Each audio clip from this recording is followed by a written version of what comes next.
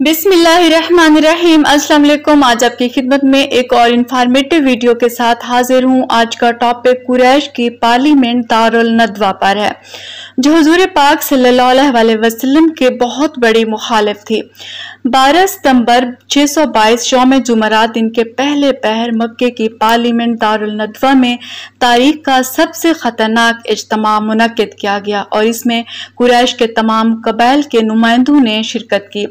मौजू बहस एक ऐसे मनसूबे की तैयारी थी, इस्लामी दावत के अलम बरदार हजूर पाक सल्लल्लाहु अलैहि वसल्लम की ज़िंदगी को ख़त्म करने के लिए इस मनसूबे को अमली जामा पहनाना था। वक्त मुकर पर तमाम नुमाइंदगान दारुल नदवा पहुँचे तो इबलीस भी एक शेख जलील की सूरत में अबा ओढ़े रास्ता रोके दरवाजे पर आन खड़ा हुआ। लोगों ने पूछा, ये कौन से शेख हैं? तो इबलीस बोला, ये अहल नजद का एक शेख है। आप लोगों का प्रोग्राम सुनकर हाजिर हो गया है। आपकी बातें सुनना चाहता है और कुछ बैत नहीं कि आप लोगों को खैर खाना मशवरे से भी नवाजे।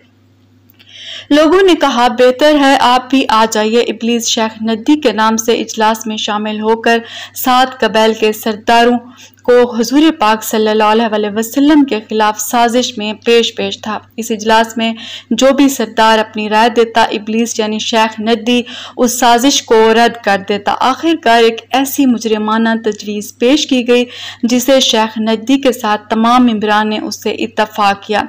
उसे पेश करने वाला मक्के का सबसे बड़ा मुजरम अबू चहल था। अबू चहल ने कहा, मेरी राय यह है कि हम हर कबीले से एक मज़बूत साहब नस्ब जवान मुंतखब कर लें।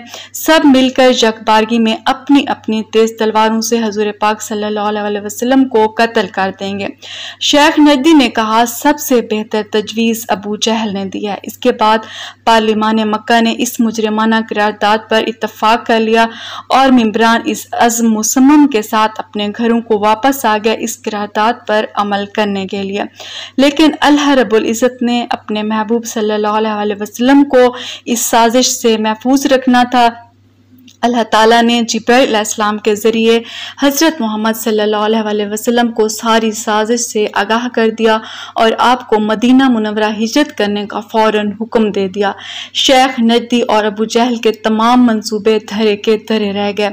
उम्मीद करती हूँ आपको ये इन्फॉर्मेटिव वीडियो ज़रूर अच्छी लगी होगी। इन ताला नेक्स्ट वीडियो में किसी नए इन्फॉर्मेटिव टॉपिक के साथ आपके साथ फिर मुलाकात होगी। अपना बहुत सा ख्याल रखिएगा। अल्लाह हाफिज़।